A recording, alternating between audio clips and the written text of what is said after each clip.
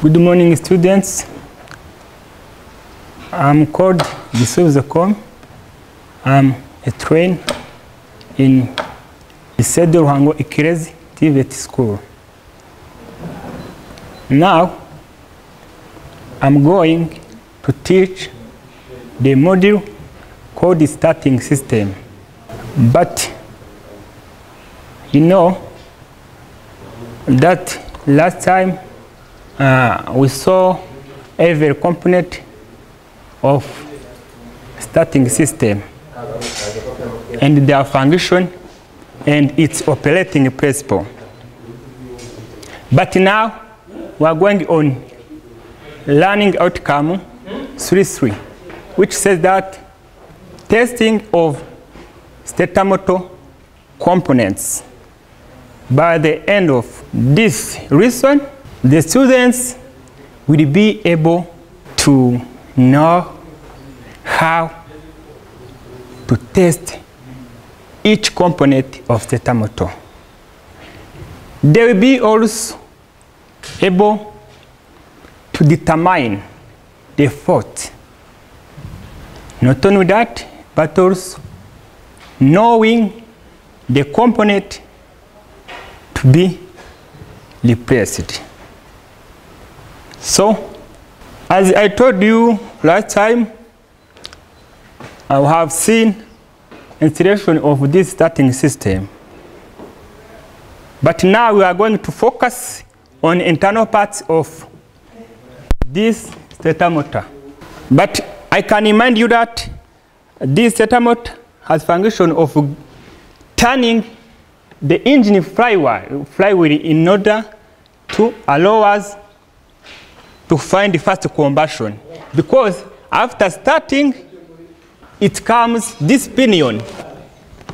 It comes in initial position.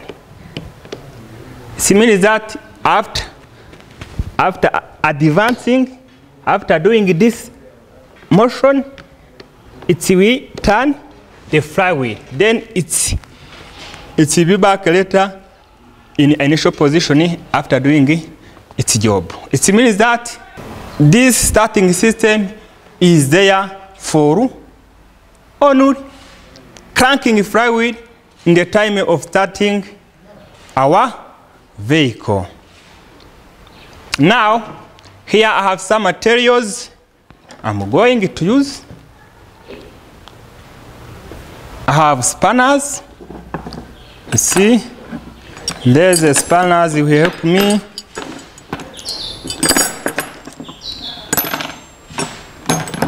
You see, there are some screwdriver for removing screws and spanners for removing the bolts. Here the soldering. Maybe during testing you can find out the problem which can uh, require soldering. If it is available, you can use this soldering gun. Anyway, here there is also multimeter. Some of the component of starter motor use multimeter.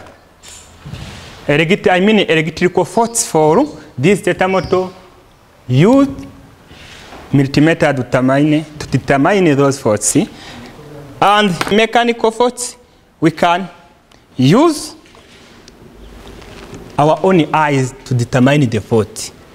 For example, this pinion, if it has a problem, I can see if these teeth have been damaged. I can find the problem visually.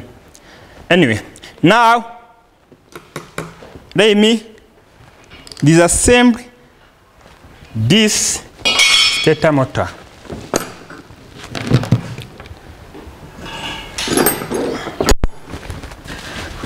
So if you remember, I told you that it has three main parts, solenoid switch, engagement relay, and motor or electrical motor which will be here inside. So now let me start to disassemble my stator motor This is solenoid as I have said, solenoid switch I'm going to remove it. But here there is there is a nut which is just uh, tightening this wire. This input wire which supplies the current from the solenoid to the stator motor. I'm going first to remove this nut.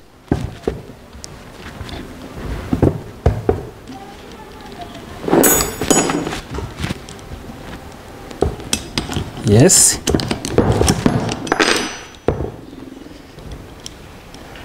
Now,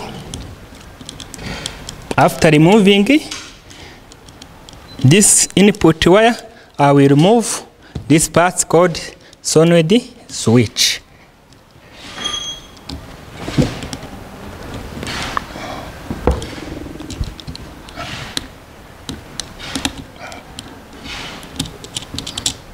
Yes.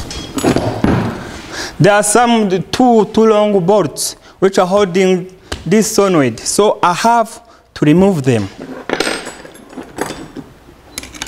You see? I have to remove them.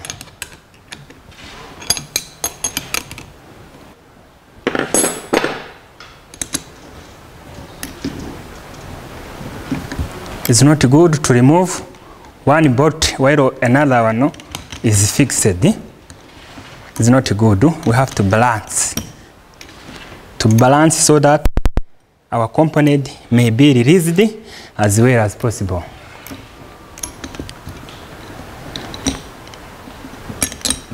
Now I can remove the bolts.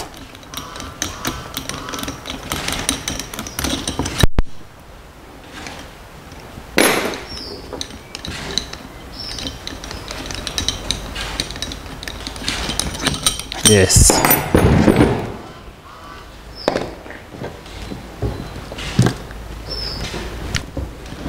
After removing the bolt, solenoid switch will have opportunity of being removed easily.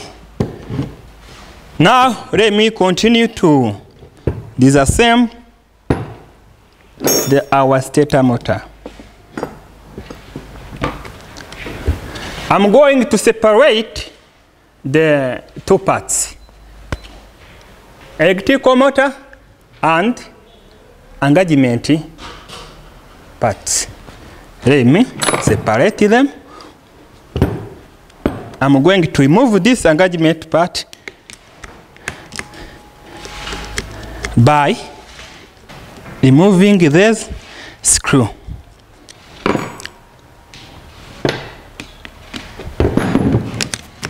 Yes.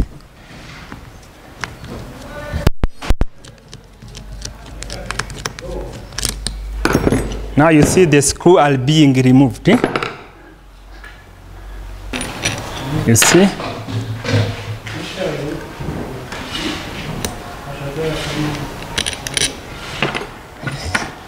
Yes, I have to put every component in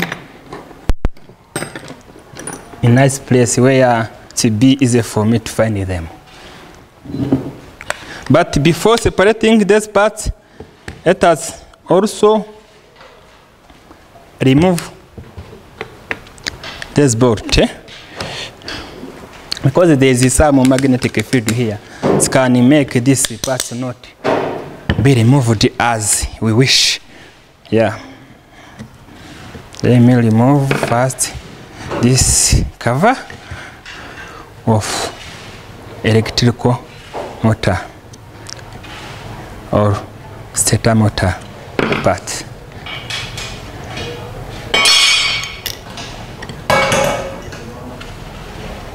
But you have to make sure where every component have been removed and you put in only place you are just assembling our stator.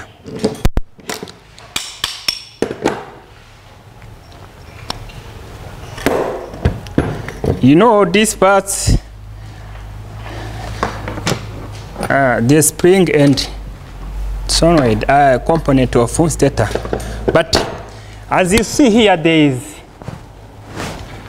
lock which is holding this pinion. It seems that cannot be removed unless we remove this lock. We are going first to remove this lock by placing the internal spring like this. It will be easy for us to remove this lock huh, by using this small screwdriver.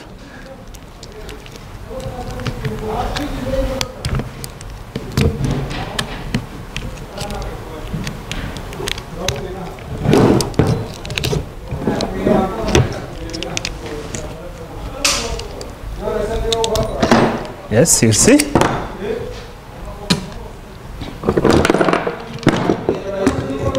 Wow. You see that I have separated motor and engagement relay. Let me even separate, disassemble this solenoid switch by removing this screw. in equal manner.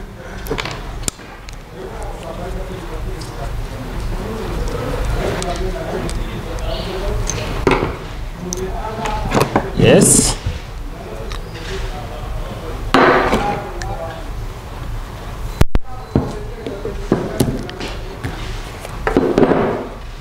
Now, I have already separated the possible part of our stator motor. You see? Yes. Now, we are going to find out the electrical faults by using our multimeter and the mechanic faults by using our own eyes in order to check the fault of different component of our stator motor. Let me start by let us first check out the faults electrical components of stator motor. This is armature, as I told you before. So we are going to determine the faults of this component of stator motor called armature. It has shaft, armature stack, and commutator, which has the bars. There's a bars, commutator bars. So in order to determine the armature which doesn't have a problem, we use three techniques. One is called 180 angled technique. It means that this cycle has 360 degrees. We are going to imagine uh, maybe a line which can pass through here in 180 degrees. Then we set our multimeter. So we have to set in on in lowest resistance. You see very well? Have set our multimeter in ohm.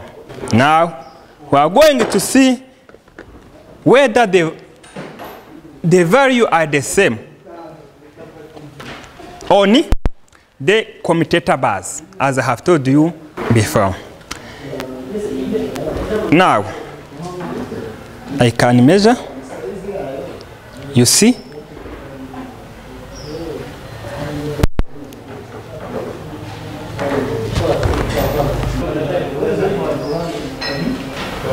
They are in the range of one.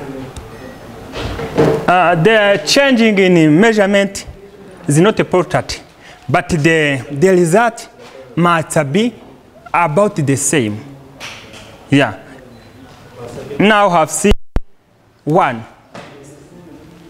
We can use another side.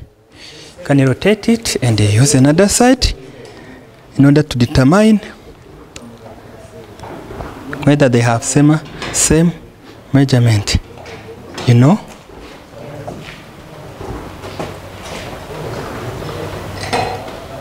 Let us assume that it is one. Also, as I have told you, you have to keep in mind that the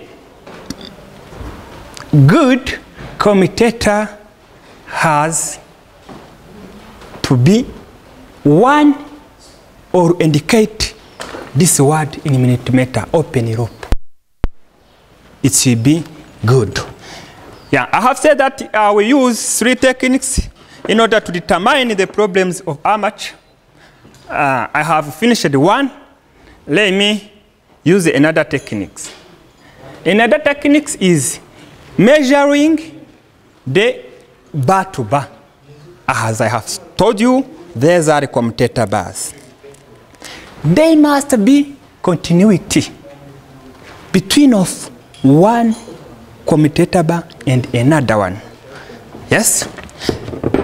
Let me change the setting of my digital multimeter. Now I'm going to set in continuity by changing in this direction. If multimeter is set in continuity, you, you can just hear the beep.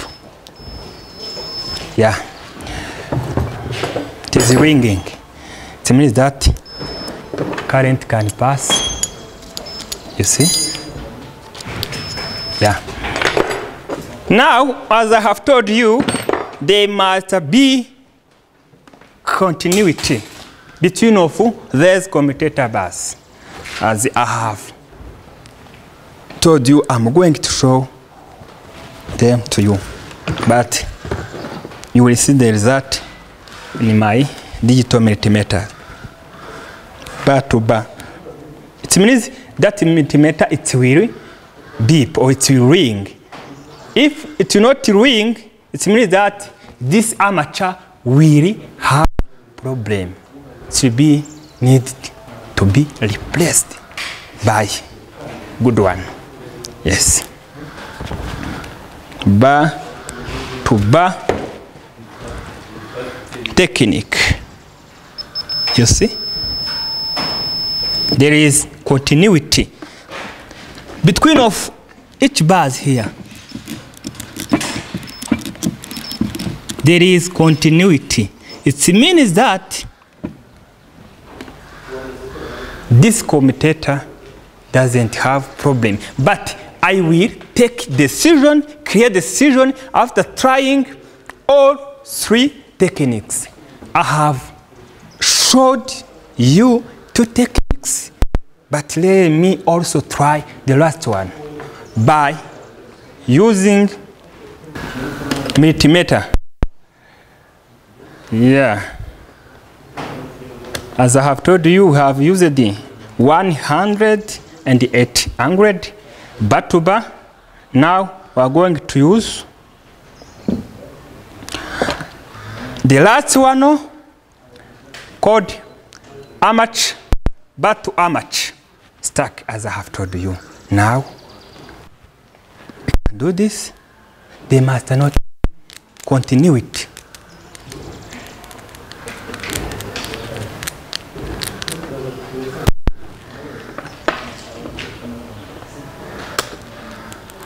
Yes. How much? Stuck to bar they must not be continue with. those are three techniques of testing our armature it means that our armature it is doesn't have any problem. It's good. Let me continue. Now i'm going to test another tetamot component called feed coil. This one is called feed coil, but it is the it has um, another part called brushes and tumblers. It the is, is, is where the brushes are accommodated. you know where the brushes are accommodated, accommodated in this brushes housing or brushes ensemble. Yeah. Here I use two techniques in order to determine the problem. But as exception, I have told you that the value usually the value must be usually one or indicating open loop. If it's less one, it's a big problem. If it's more than one, maybe from two to three, it will be another issue. But it can, it, it can vary. It can vary. We don't care about the value, but they must be nearby. Hmm? The value must be about to be the same as I have told you. Yes, now let me test this component called feed coil, but it has another component which has carbon brushes. As you know, is if we take current plus which will come from the solenoid plus magnetic field. These are brushes. They, are, they have they are uh, positive brushes and negative brushes. Even if this commutator has north and south, according to the magnetic field law, it will make this commutator to rotate. If you take a current plus magnetic field, which, be, which will be created, we shall find the motion of moving. As I told you before, our stator motor can do two motions, advance motion or axial motion and rotary motion because we saw that its function is to crank engine flywheel. It means that it's advance and crank, then it's coming back in initial position. Yeah. Now let me test this component. This is armature. I, I'm sorry, this is a laminated stack. This is called laminated stack. But there's a way which are inside the are fitted coil. Yes. I'm going to measure. I will use two techniques as I've told you. First one is to measure continuity between this supplying wire or input wire supplying current from solenoid to the electrical motor and this laminated stack. Let us set our multimeter in continuity. Okay, the master ring.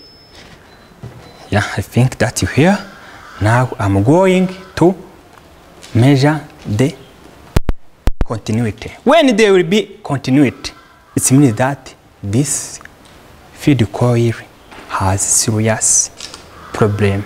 It need to be replaced. There is no continuity, you know. You understand? There is no continuity. Another thing to test. I'm going to test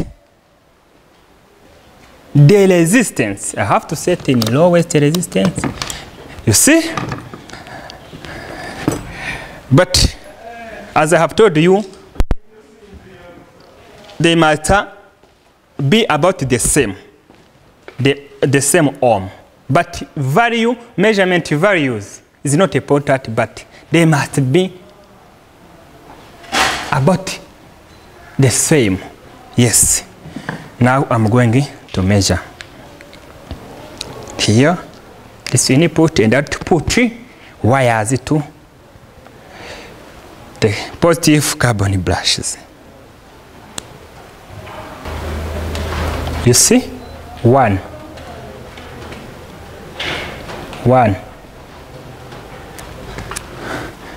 Even here must be one.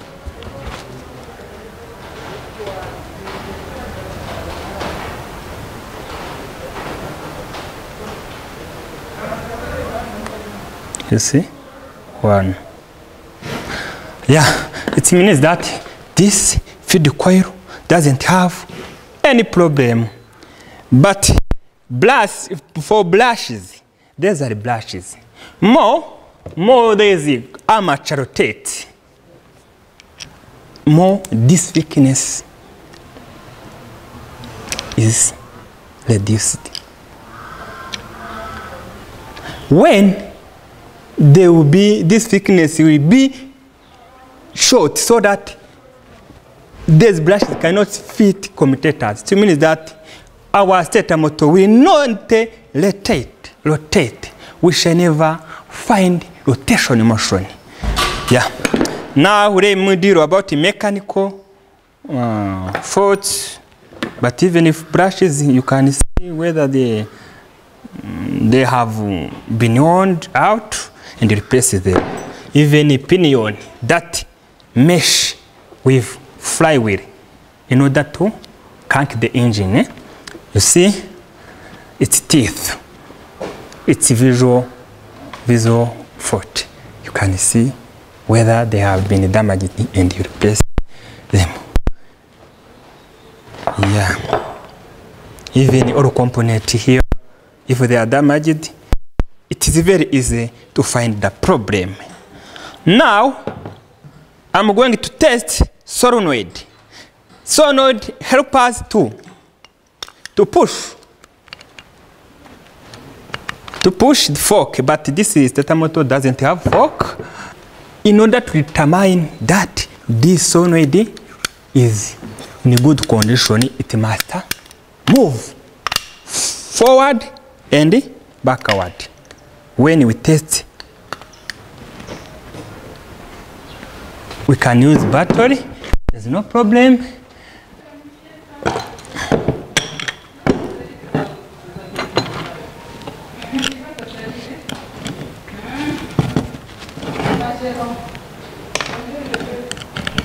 I've told you that it must move forward and backward motion by using a battery.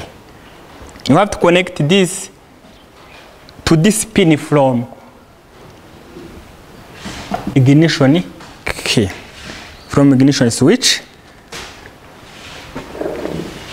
But I'm going to test it directly without using ignition switch. There is problem I have found inside of this solenoid. Let me show you.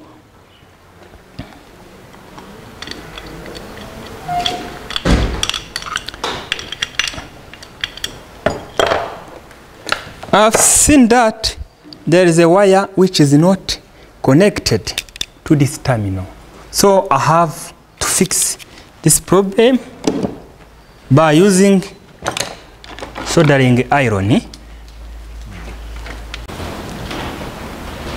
As you have seen this, there is a problem. This wire is not connected to its terminal. So I'm going to connect it. Then after we shall find out the result.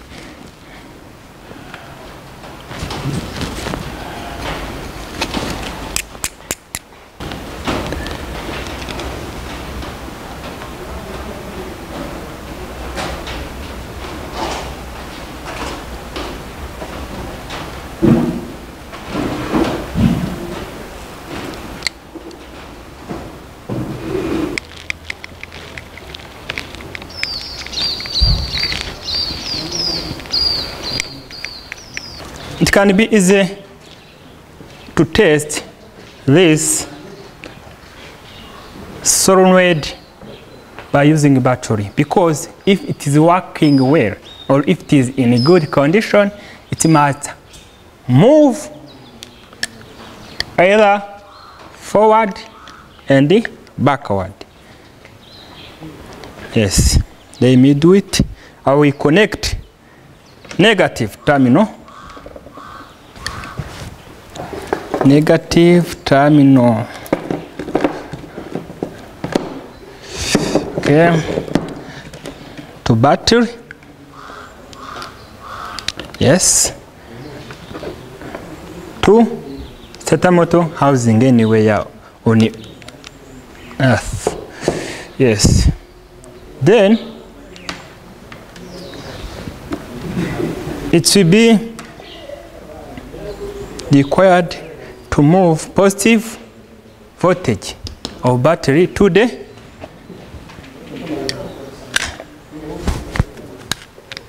to this pin where ignition switch current come from to starter solenoid. You see? It is moving forward and backward motion. It means that our starter solenoid doesn't have any problem because I have fixed that problem you have already seen. Now it is time for assembling our starter motor. Yeah. Let me assemble motor. Yes.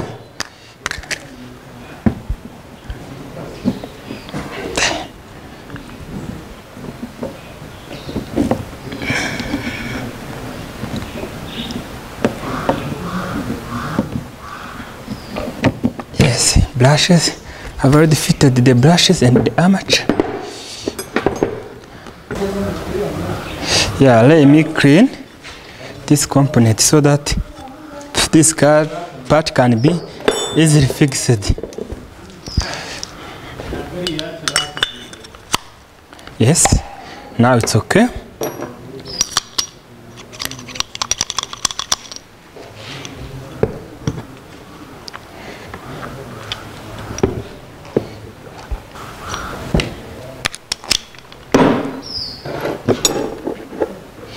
Let me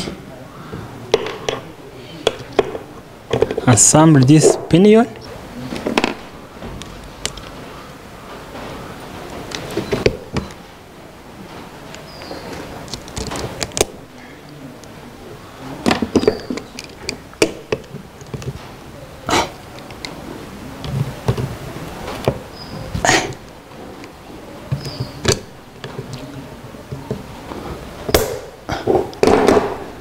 Now I have fixed the pinion.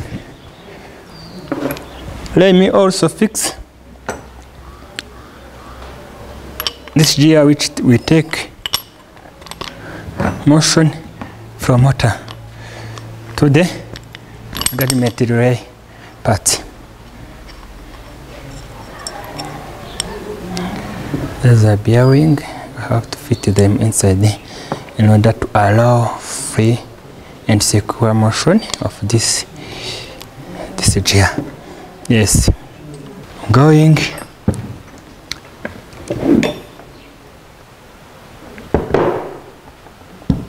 to connect starter motor and starter motor part or electrical motor and solenoid switch.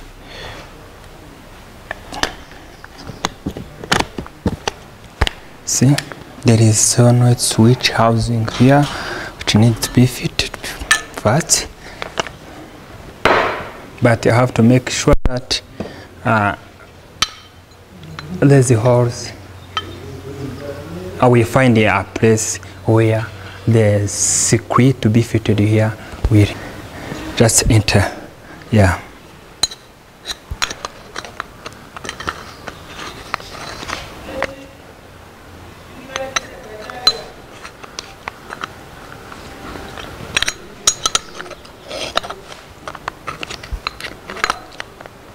You see, now if I put the screw, the screw here, they cannot be fitted. I have to to rotate so that the screw can be find a place where to be bolted. Yes.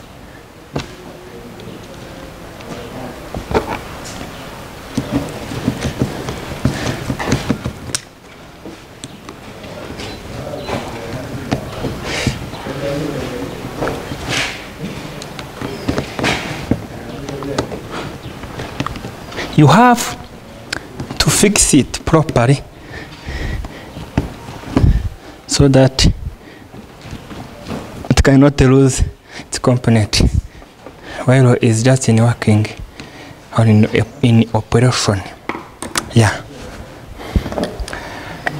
Now I'm going to fix this engagement relay part to be fixed here as you see but here there is uh, some spring. Spring. Next time we will see how do them yourselves. Because first time if you remember you were just doing them in groups. But next time everyone will disassemble and assembly stator motor himself or herself without any help of another someone. So that will help us to make the skills that have better destiny. Okay, thank you very much. My telephone number is 078194 three double eight then five. Thank you